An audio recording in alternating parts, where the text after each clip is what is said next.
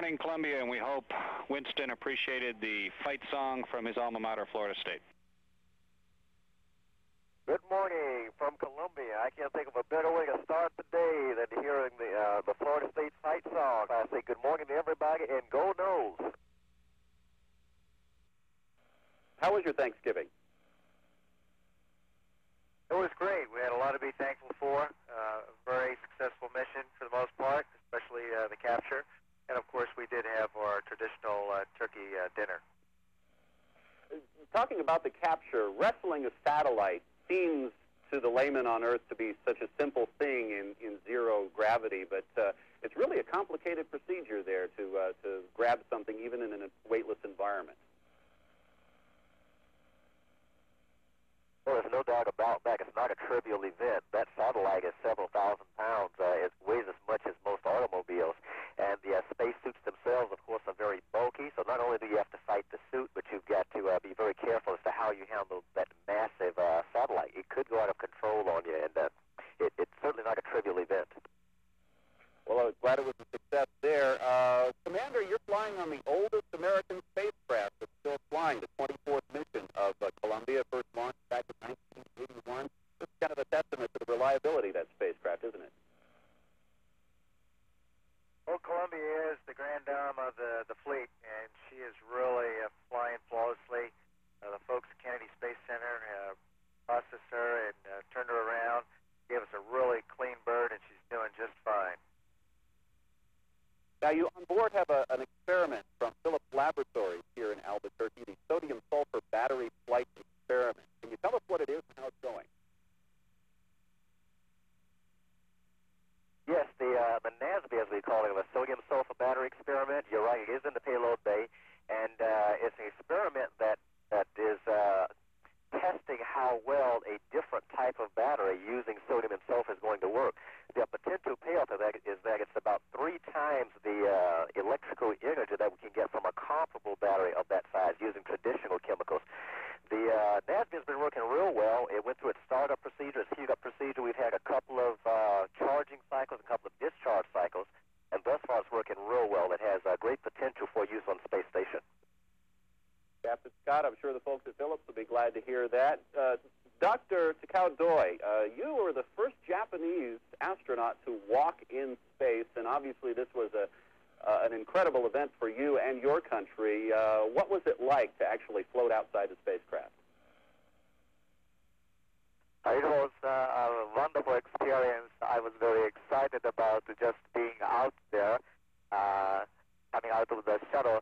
And uh, this time, uh, we uh, we captured the sunlight, and it was uh, also spectacular. So I I'm really happy that uh, we could uh, uh, have this kind of great uh, experience. Of course, there's a lot of kids out there who are watching, and spaceflight is such a fascinating thing for kids of all ages. What would your recommendations be to kids out there on what they should focus on if they want to uh, study to be an astronaut? What should be the uh, top subjects that they should be studying in school? Well, um, since I was a kid, uh, I uh, I liked watching stars, and just I uh, I have been pursuing uh, watching stars and studying the universe. And my dream is has been just uh, exploring the universe and know about um, uh, more about the space. I I'm just uh, pursuing my dream. But the most important thing I can tell to uh, many uh, many young people is that uh, just uh, uh, have your own dream and pursue it. And this is a microgravity experiment. Very quickly, could you explain what that is all about? Uh, right now, uh, we are conducting uh, the material science experiments uh, um, both uh, in the middeck and uh, in the payload bay. Uh, especially today, we are going to conduct a combustion experience, uh, a so-called ELF, enclosed laminar flame experiment. Also, uh, outside uh, in the payload bay, uh, we are conducting uh, uh, many uh, crystal growth experiments, which may uh, give us uh, very high quality uh, crystals, uh, which can be used for um, the computers and many other electronics materials. I understand there making the decision on Monday whether or not to uh, let Spartan free again, but some of the wire stories we're hearing is that the space shuttle is going to have to back up 30 or 40 miles to give it some room to, to do its thing. Uh, what is that all about? Can you explain that simply to us? Well, very simply, uh, when we release the satellite, we go into what a station keep mode is. And we just use normal orbital mechanics to let us drift slowly 30, 40 miles away. And that gets us in a position where we won't conflict in subsequent orbits with the Spartan. And also, we're close enough that when it's time to retrieve it, we can do that in a very efficient manner. I uh, did a story just uh, this week in Palmdale where they're refurbishing another uh, space shuttle Atlantis. And I, I think I know where you guys are right now. I think you're at the flight deck, if I'm not sure. Can you just tell me where you are and show me something behind you and give us a little quick tour? Sure. We are on the, the flight deck. Right behind Winston uh, is uh, the pilot's seat where Steve Lindsey sits. Um, where uh, Takao is, is the center console, uh, and that is uh, looking right at the, the flight deck, and the commander seats off to the left. Uh, back out uh, to the aft here is our two windows where we can see out through the tail, and we happen to be belly to the earth, but we can look down right through these overhead windows and look out and see the earth, and we're passing over the Pacific Ocean at this time. Uh, Captain Scott, one of the things that I noticed was how cramped the quarters are in there. Can you tell me a little bit about how weightlessness makes it not quite as cramped as it would be for us on Earth? Well, as you as you can imagine, weightlessness does just that because not only do you use the normal space that you'd use on Earth, but you use all the space in the overhead. When we translate, for example, it's very easy to just go over a crew member's head or go uh, float along the floor around a crew member's feet. We really do use all uh, all of the volume available to us, and not just a portion that we would use on Earth. How do you sleep? What position?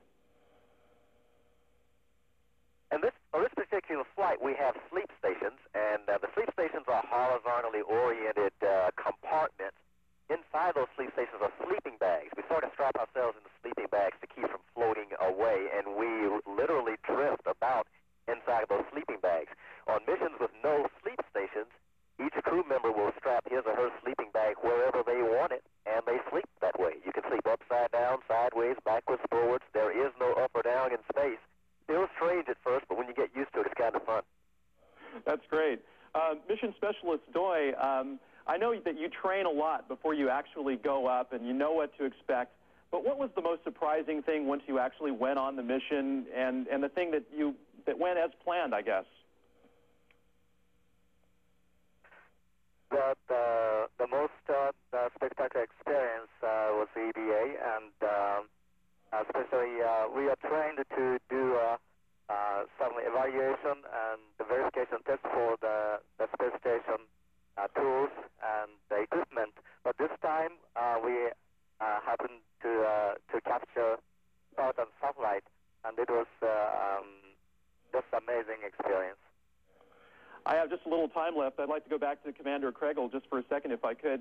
Commander, I know you guys can't be possibly working 24 hours a day. Is there any free time at all? And if so, what do you guys do with your free time up there? Uh, we work fairly hard, but we do get uh, free time from time to time. And the number one pastime for everyone is to look out the window.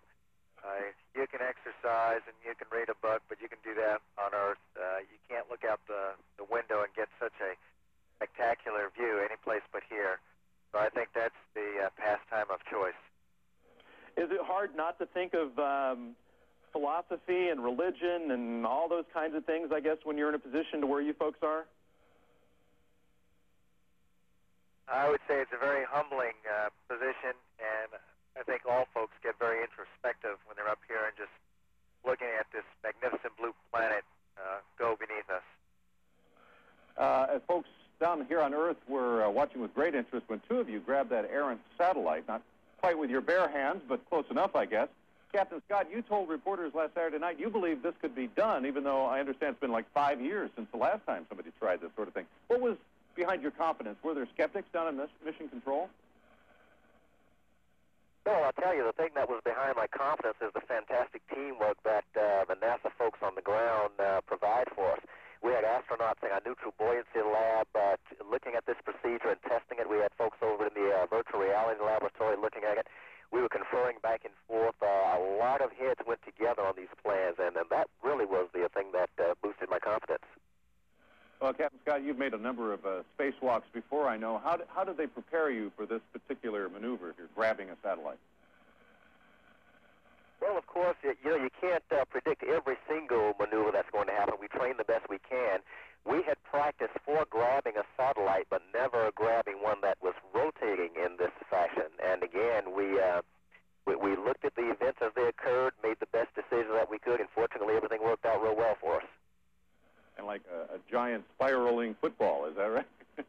Trying to catch that. Dr. Doi, uh, now you work for Japan's NASDA. Is, is Japan working toward its own independent uh, space program? Uh, right now, uh, we are working very closely with uh, uh, the United States. Especially, uh, we are having this space shuttle program, so that I am right now here.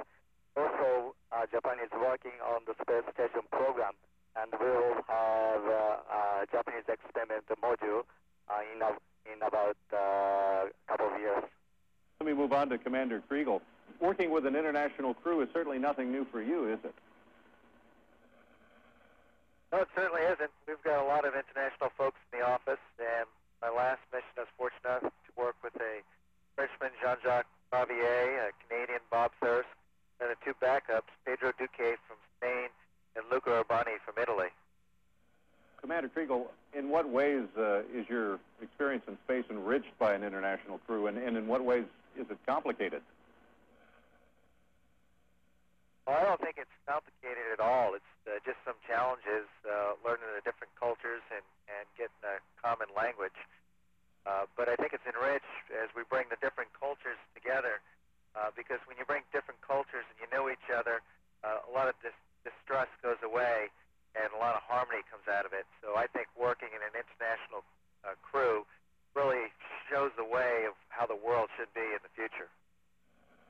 Gentlemen, I, I guess this is a question for, for all or any of you. Uh, when, when did you first know you wanted to be in outer space?